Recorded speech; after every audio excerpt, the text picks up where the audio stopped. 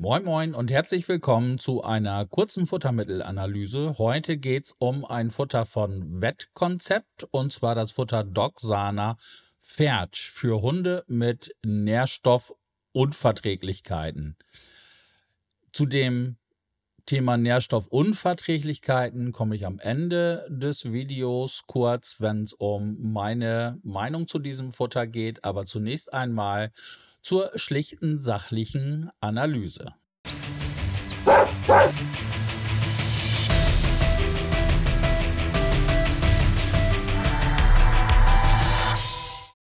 Das erste, was ich mir immer ansehe, wenn ich ein Futter analysiere, ist die Zusammensetzung, die Deklaration. Geht darum zu gucken, wie viel der Inhaltsstoffe denn in der Deklaration aufgeführt sind. Bei dem Wettkonzept Doxana Pferd ähm, ist das Ganze überschaubar, wie bei vielen Trockenfuttermitteln. Ähm, hier verrät der Hersteller nur 28,6 Prozent ähm, der enthaltenen Inhaltsstoffe. Damit gibt es dann sieben Punkte Abzug in Bezug auf die Deklaration. Die Zusammensetzung. Sehen wir uns die Zusammensetzung genauer an. Es handelt sich hauptsächlich um Gemüse, denn Gemüse steht an erster Stelle ähm, in der Deklaration und zwar Kartoffel und Pastinake jeweils getrocknet. Gefolgt von Fleisch und tierischen Nebenerzeugnissen, in Klammern Pferdefleischmehl, dahinter nochmal in Klammern 28,5 Prozent.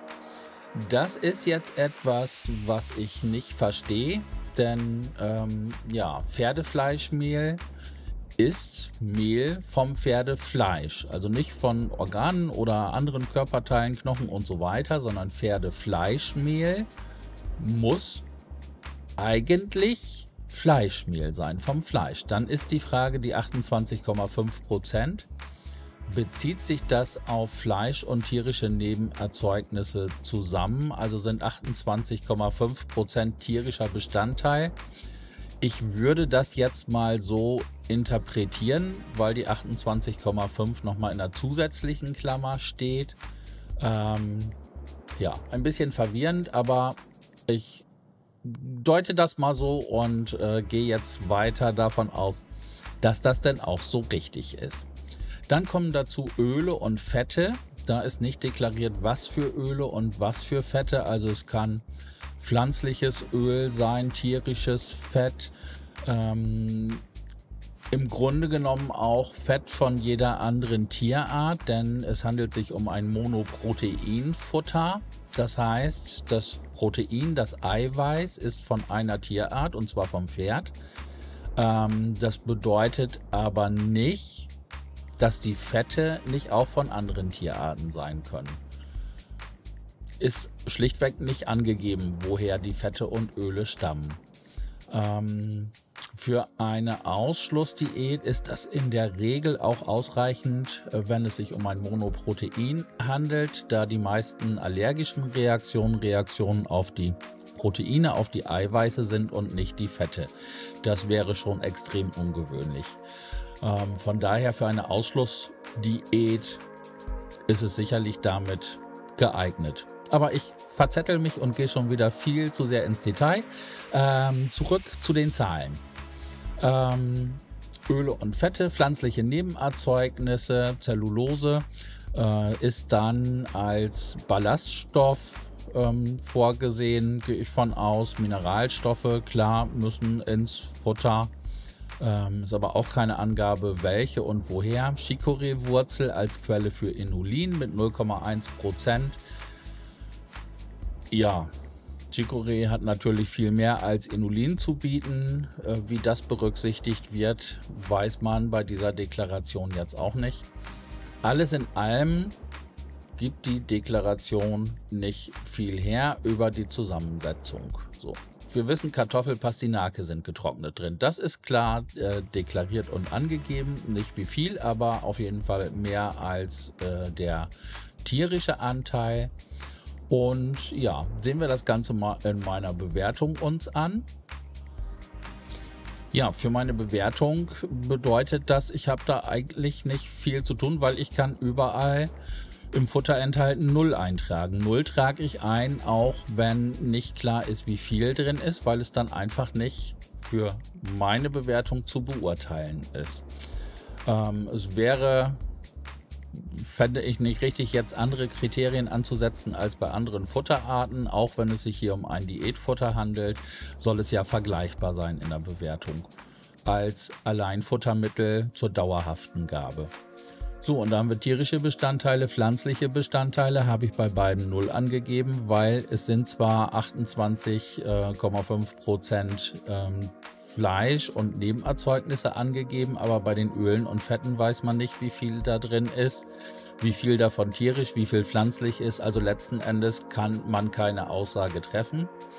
Das gleiche auch bei Fleisch, Organen, Gemüse, Obst, Kräuter und Öl. Also die ganze Zusammensetzung ähm, ist nicht beurteilbar. Analytische Bestandteile. Die analytischen Bestandteile liegen, so wie ich das von fast allen Futtermitteln gewohnt bin, im Bereich meiner Empfehlungen, die sich ja auch mit äh, Empfehlungen von ähm, ja, Herstellern und so weiter decken. Das ist also alles im grünen Bereich, bis auf Calcium, Phosphor. Ähm, das ist mit 0,02 Prozent etwas über dem, was ich empfehlen würde. Ist für mich völlig tolerierbar und ähm, ja, schlägt sich auch in der Bewertung des Futters äh, nach meinem Analyseverfahren hier kaum wieder. Bemerkenswert finde ich, äh, dass Rohprotein ähm, eher etwas unter meiner durchschnittlichen Empfehlung liegt und Fett aber schon am oberen Rand von dem, was ich empfehlen würde. Äh, was bedeutet, dass das Futter tendenziell eher fettlastig ist, verglichen mit anderen Futtersorten. Und naja, äh, Fett kann eben auch zu Verdauungsproblemen führen. Äh, kommt dann auch drauf an, was für ein Fett. Also das ist was, was mir nicht ganz klar ist, warum der Hersteller das so gewählt hat äh, mit dem relativ hohen Fettanteil. Aber gut, ist für mich im tolerierbaren Rahmen. So, das sind dann auch schon die Fakten. Ähm, und ja, es gibt halt nicht viel her. Von daher ist man mit der sachlichen Betrachtung äh, der Zahlen schnell am Ende. Was bedeutet das Ganze jetzt? Ja, der Hersteller schreibt auf seiner Internetseite, ich blende mal das Zitat ein, Hunde mit Nährstoffunverträglichkeiten sind in ihrer Ernährung besonders anspruchsvoll. Korrekt. Für bestmögliche Verträglichkeit, einen harmonischen Stoffwechsel und den Erhalt ihrer Fitness benötigen sie eine genau ausbalancierte, leicht verdauliche Nahrung mit moderaten Fett- und Proteinwerten und einen ausgewogenen Gehalt an essentiellen Fettsäuren. Ja, das ist richtig. Und es liegt wahrscheinlich daran, dass ich als Ernährungsberater das sehr kritisch sehe. Ähm, insgesamt diese ja, Diätfuttersorten, nicht nur bei Wettkonzept. Ähm, denn für mich muss eine Diät auf den individuellen Hund zugeschnitten sein. Und gerade bei Nährstoffunverträglichkeiten ist für mich die Frage, warum verträgt der Hund diese Nährstoffe nicht? Wenn der Hund zum Beispiel eine Allergie gegen ähm, Kartoffeln hat, so dann ist dieses Futter natürlich grundverkehrt. Gut, das Futter ist auch für äh, Ausschlussdiäten geeignet wenn ein Hund vorher noch keine Kartoffel bekommen hat. Also man kann das da in manchen Kontexten sicherlich sinnvoll einsetzen. Ähm, aber ich halte es eben für, ja, für Ausschlussdiäten in einigen Fällen geeignet, aber als Futter, als Lösung für Nahrungsmittelunverträglichkeiten äh, Nährstoffunverträglichkeiten finde ich schwierig, wenn man nicht weiß, um welche Nährstoffe es sich handelt und warum diese Unverträglichkeit besteht. Aber wie gesagt, das gilt nicht nur bei Wettkonzept, das gilt bei allen Diätfuttermitteln. Ich habe dazu auch mal ein eigenes Video ähm, gemacht zu dieser Problematik oder Thematik. Ähm, blende ich oben mal ein. Kannst du dir gerne angucken. Da äh, geht es dann nochmal intensiver darum. Dogsana Pferd berücksichtigt optimal die Bedürfnisse von Hunden mit Nährstoffunverträglichkeiten. Die Rezeptur enthält nur ausgewählte und zahlenmäßig begrenzte Proteinquellen und ausgewählte Kohlenhydratquellen. Das ist soweit richtig. Optimal die Bedürfnisse von Hunden mit Nährstoffunverträglichkeiten berücksichtigen. Wie gesagt, da gilt für mich jeder einzelne Hund zu betrachten und darauf für diesen Hund eine ausgewählte Ernährung zu konzipieren. Das lässt sich mit keinem Fertigfuttermittel ähm, in irgendeiner Form gestalten.